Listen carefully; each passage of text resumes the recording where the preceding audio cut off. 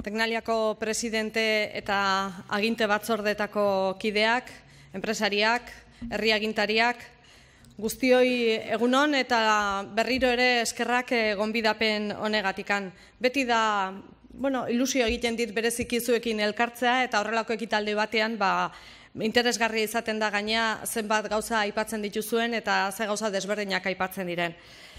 Mai gainean gaur eh, gai interesgarri bat eh, jarri duzue,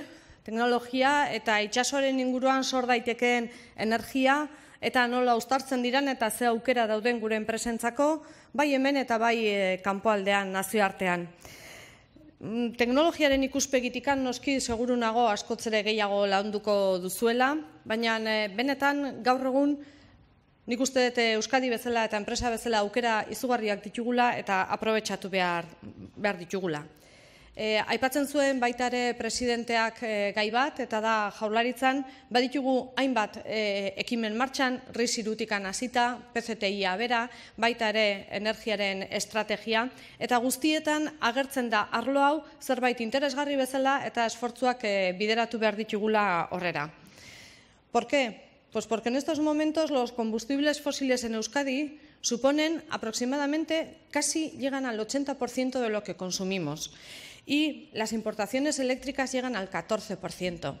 Esto implica que Euskadi es mayoritariamente dependiente de recursos energéticos que en muchos casos proceden de países que se encuentran en una inestabilidad o una incertidumbre, podemos decir. Y en la actualidad, además, no podemos olvidar que, de alguna forma, el exceso de crudo que existe en los mercados por la introducción bien de tecnologías de fracking, sobre todo en Estados Unidos, bien porque Irán también está empezando a producir mucho. Además, el enfriamiento de la economía de China, que en Europa sí empezamos a mejorar nuestra situación económica, pero no al ritmo suficiente, hace que, desde luego, la producción de crudo y la demanda no estén adaptadas y exista mucho más crudo en el mercado del que podemos demandar. La OPEP podría tomar, eh, adoptar decisiones diferentes y conseguir que de alguna forma el precio del crudo subiera y la situación mejorara, pero no lo ha hecho así. Ha decidido seguir produciendo al mismo nivel para mantener su cuota de mercado. Luego nos encontramos en una situación donde el ámbito geopolítico está eh, impactando directamente en lo que está ocurriendo en el mundo energético. Estas y otras razones son las que nos hacen pensar que en economías avanzadas, y desde luego consideramos que Euskadi lo es, tenemos que empezar a transitar cada vez más hacia, una, hacia un modelo de energías más renovables, menos dependientes de combustibles fósiles y tenemos que hacerlo de forma intensa y de forma lo más rápida posible. No se puede conseguir de un día a otro, pero tenemos que empezar a transitar hacia ahí. El avance tecnológico que estamos observando, desde luego, en relación con las energías renovables y cada vez su mayor contribución al mix energético, concretamente en el caso de la energía eólica, sobre todo onshore en estos momentos, y eh, también la energía solar, nos hace ser optimistas y pensar que podemos llegar a un modelo en el que generemos energía renovable, además localmente.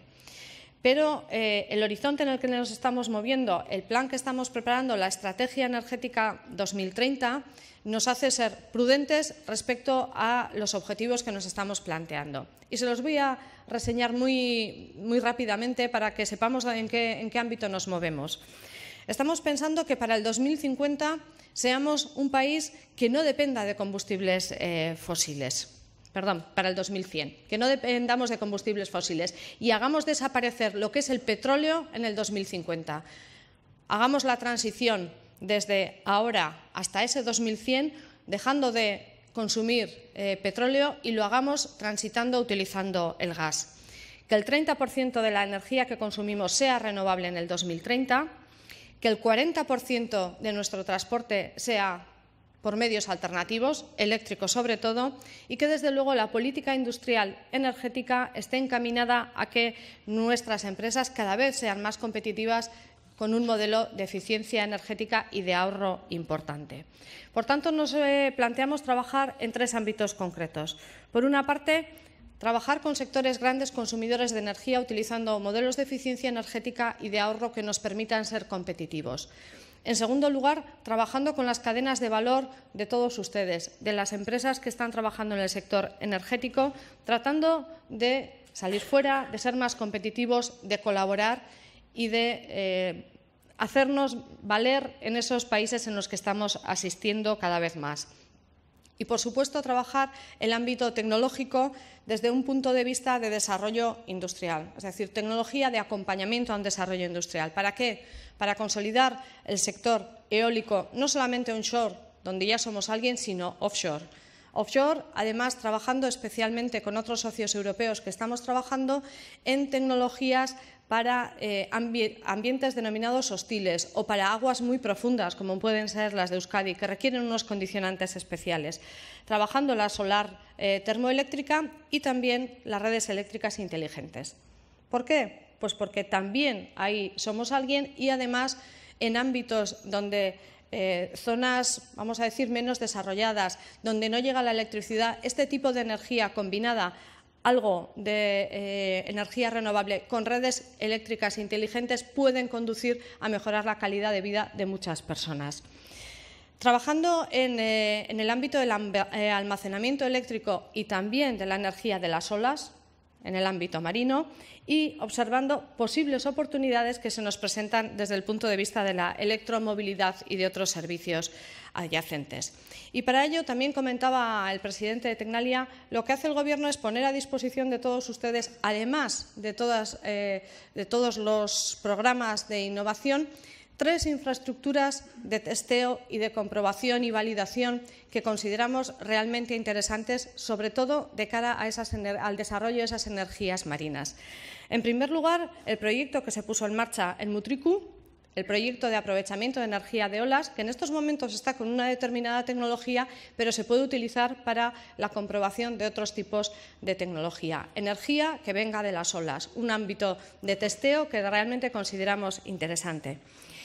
BIMEP, del cual se va a hablar mucho más eh, profundamente, pero como un ámbito de testeo también para la energía del mar o las mareas, pero también para poder analizar plataformas donde se puedan implementar tanto tecnologías eólicas como también del ámbito de la explotación del oil and gas, porque también los queremos utilizar con anclaje, con materiales, con sistemas de plataforma de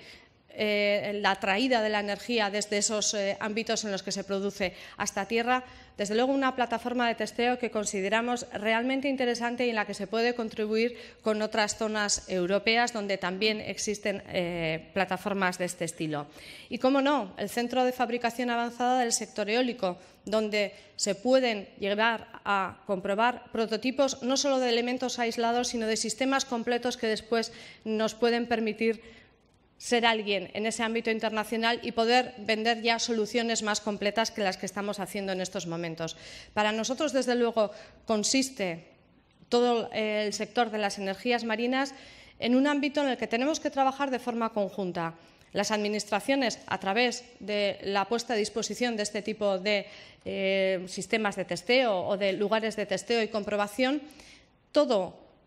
toda la red vasca de ciencia, tecnología e innovación, de la que Tecnalia forma parte, evidentemente, donde la tecnología que se pone a disposición de las empresas es realmente la que nos va a hacer avanzar y, por supuesto, las empresas del país, que son las que después eh, van a poder aprovecharse de todas estas tecnologías. Todas las firmas, empresas, agentes, como ustedes quieran, Creemos que tenemos el potencial suficiente si somos capaces de colaborar, de trabajar conjuntamente, de entender qué es lo que se pide en el mundo, de entender lo que nos piden todos los clientes que se encuentran ahí fuera, en ese mundo que cada vez es más global, y aprovechar esa oportunidad para además posicionar Euskadi en ese mundo. Con una oferta científico-tecnológica que nos va a permitir hacer avanzar a nuestras empresas a un ritmo rápido, eta beraz, etorkizuna hemen daukagu, ez da hemendikan urte batzuetara iritsiko, hemen dago, baina Euskadi pres dago, zuek pres zaudete eta jaurlaritza beti zuekin egoteko eta laguntzeko pres. Beraz, anematzen zaituztet, benetan e, inspiragarria izango den goiz honetan, jarraitzeko lanean eta hemendikan zer egingo dan, hemendikan urte batzuetara zer egingo dan aztertzen eta alik eta azkarren Euskadira iritsi dadin egiten. Eta bukatu aurretikan bereziki gaur zoriondu nahi nuke Joseba Jauregizar, gero ez naiz eh, hemen ez dute aukerarik izango hemen egoteko eta jaurlaritzaren errekonozimentu berezia egin nahi diot. Beraz, zorionak Joseba. Eskerrik asko guztioi.